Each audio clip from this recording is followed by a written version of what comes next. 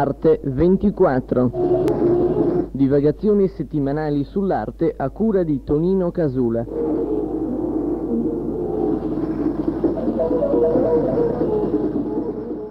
Eh, Primo Pantoli è un artista che ormai stava vent'anni in Sardegna, è stato protagonista di una serie di iniziative molto importanti e a volte anche frustranti. Una delle cose eh, che ha contribuito a far venire su è stato eh, Studio 58, una delle prime cose mi pare, vero? Sì, la prima esattamente. Sì. E poi da questo è venuto fuori il gruppo di iniziativa, e poi Centro- il Centro di Cultura Democratica, cioè tante cose. Ecco, a cosa sono servite prima tutte queste cose? Beh, io credo che siano servite a molto, almeno in quei tempi. Dico, non dimenticare che eravamo nei tempi in cui si esponevano soltanto dei paesaggi al tramonto, barchette che riflettevano i colorini nell'acqua o so, uomini vecchi con barba e berritta, insomma, e questa era tutta l'arte che si produceva nell'isola. A proposito di quella famosa arte arte di cui parlavi Sì. prima, vero? Noi, se non altro, abbiamo- siamo stati gli iniziatori di, di un discorso nuovo, mi pare, estremamente libero, perché proprio a Studio 58 c'era come base comune una estrema libertà eh, di espressione, di linguaggio, di, di- di contenuti. E, mh, inoltre c'era anche un- una questione importante di organizzazione che mi sembra che sia stata la prima volta allora in cui gli artisti si sono dati una organizzazione autonoma, cioè non ci siamo più fatti condizionare dalle due uniche gallerie ufficiali che allora c'erano, perché allora nel 58 a Cagliari c'erano soltanto due gallerie ufficiali, insomma. Noi ci siamo organizzati per conto nostro, abbiamo incominciato ad esporre nel retrobottega del- di un negozio, così una saletta proprio minima, 13-14 persone lì che eh, urlando, litigando, e, però lavorando molto, insomma sono riusciti a creare la, la prima spinta insomma, per muovere qualcosa, indubbiamente. Insomma. Ecco, ti sembra che oggi eh, si possano vedere eh, in qualche modo i frutti di questo tipo di operazioni? Ma anche se qualcuno dice di no, mi sembra che qualcosa abbia prodotto. Intanto dopo questo è nato il gruppo d'iniziativa che era già un passo in avanti, mi sembra, perché c'era già un impegno sociale e politico che nello Studio 58 non c'era. Sì. Sicché noi stessi, attraverso questa collaborazione, attraverso questo lavoro di gruppo in fondo, no? questo studio collettivo, eh, abbiamo eh, acquisito una nuova coscienza che prima indubbiamente non avevamo, perlomeno non avevamo guagliato. Insomma. Cioè, Eh, ti riferisci alla coscienza politica? alla questione sociale, sì, alla- eh, insomma, ecco. Ecco, Eh, forse per- non è, non è male un po' eh, fare una- un riesame delle cose che si facevano allora, dello spirito, anche per vedere, per verificare fino a che punto ancora oggi una impostazione come quella de- del gruppo d'iniziativa eh, possono ritenersi valide. A me sembra di sì, sembra di rivederle in, in tante opere che oggi si chiamano d'avanguardia. Certo, ma ti dirò anche di più che noi siamo stati all'avanguardia in quel periodo, soltanto che la nostra disgrazia era di essere in un'isola e non essere a Milano o a Roma, insomma nel centro in cui avremmo potuto produrre, non solo produrre di più a livello individuale, ma avere anche un eco a livello nazionale molto più valida, molto più, ecco, molto più diffusa la nostra idea sarebbe stata. Come in fondo stavo dicendo che eravamo all'avanguardia perché certe nostre idee che abbiamo certi problemi che abbiamo affrontato sul rapporto arte-politica, arte-società eh, nel gruppo di iniziativa sono venuti poi a galla dopo, molto più tardi, cioè con, le- con i movimenti del 68, 70, eccetera. Sì, esatto, è questo che volevo dire. Eh, io ho qui davanti delle cose che sono eh, probabilmente posteriori eh, alla- a questo periodo, ma eh, le radici sono evidentemente quelle.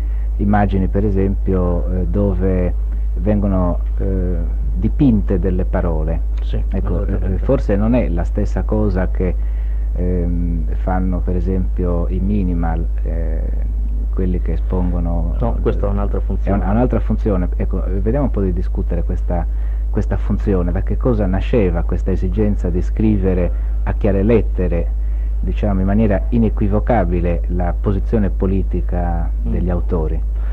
Beh, siamo partiti da questo, a un certo punto ci siamo accorti che il linguaggio proprio visivo manteneva un'ambiguità, malgrado tutti gli sforzi che si potevano fare per eh, affrontare direttamente un discorso e per fare dei discorsi precisi.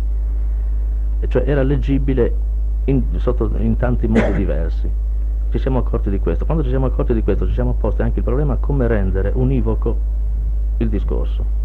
Cioè come far capire alla gente da che parte andava letto e come andava letto il quadro per mm. essere proprio chiari. Insomma. Ecco, questo naturalmente significava una univocità di impostazione. Cioè e voi... che perlomeno il desiderio che la gente leggesse il quadro nella, nella maniera in cui l'autore voleva. Ecco, come impostazione generale politica di scelta di classe, diciamo di così. Certo. Sì. Ecco, poi rimaneva naturalmente, eh, e non poteva non rimanere, credo, eh, l'ambiguità dell'operazione artistica come tale, cioè l'utilizzazione di, di, immagini, segni, eccetera, che eh, rimandassero continuamente a situazioni eh, non esattamente univoche come quelle che venivano dettate dalla premessa, diciamo, di, l'impostazione sì. politica. C'era questa unità, no? Questo, questa dialettica diciamo, fra i due linguaggi, quello scritto che era più univoco, meno ambiguo, sì. e quello visivo che poteva andare incontro a fondo a tutta quella, a tutta quella fascia in fondo di, di, di, ambiguità che resta sempre in ogni problema, tutta quella fascia di libertà individuale, di fantasia, di, di moti più o meno emo, emotivi, sentimentali, cioè dei diversi livelli sì, in cui, tutte quelle componenti eh, che sono ecco, presenti ecco, ogni volta sì, che si fa pittura. Ecco, cioè un problema dico, lo si può affrontare da diversi punti di vista e a diversi livelli,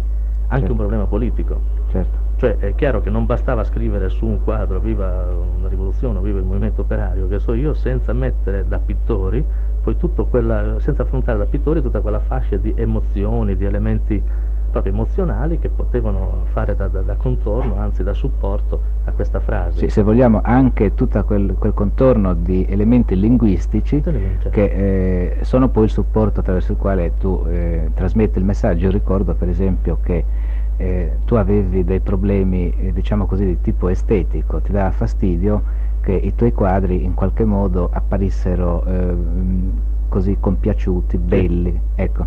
E allora operavi una sorta di distruzione di ciò che facevi proprio per dire io non mi ci sto adagiando, non mi sto eh, compiacendo sì. e non mi sto contemplando, sono un uomo che ha dei problemi e questi problemi eh, vengono fuori quando metto in forza prima di tutti me stesso, non so se l'impostazione era... Sì, certo, e soprattutto c'era questo, il rifiuto di un ruolo che l'artista sembrava avere nella società precedente, no? o perlomeno nella società in cui vivevamo e anche, anche, in quella di oggi, cioè un po' il, questo ruolo di, di, giur, di giullare di una, di una certa sì. borghesia tranquilla, la quale si sollazza dico, la, guardando un quadro, sentendo una poesia, ascoltando una musica, al posto di questa funzione di, di, eh, di giullari divertenti e piacevoli, avevamo messo invece quella della funzione di provocatori di, problemi e di, discorsi più concreti. Ecco, ti sembra che oggi eh, ci siano artisti che hanno eh, questa capacità di provocazione nei confronti di un sistema che ormai si è dialetticamente assestato, eh, si è arricchito anche di, purtroppo dico, di queste componenti dialettiche che gli artisti fino ad oggi, fino a ieri, hanno fornito, li ha fatti propri, tanto per intenderci Marcuse, insomma, no? che eh, dice che il sistema si razionalizza proprio quando ai suoi estremi, nelle sue frange, intervengono elementi di contraddizione, servono a razionalizzarlo e a renderlo molto più dialettico, molto più disponibile, più mm. elastico e meno attaccabile, diciamo. Ecco, eh, pensi che oggi si possa ancora ritenere che eh, a fronte soprattutto della realtà, diciamo, delle cose che avvengono in maniera molto più imprevedibile della fantasia a volte, a fronte di tutto questo esistano artisti che hanno questa capacità ancora di turbare il borghese, di, di dargli, come si dice, i calci nei denti. Eh, ho paura che... il discorso è un pochettino difficile, però alla base c'è questa sconfitta grossa di, queste, di, questo modo di impostare un discorso sull'arte e sulla cultura.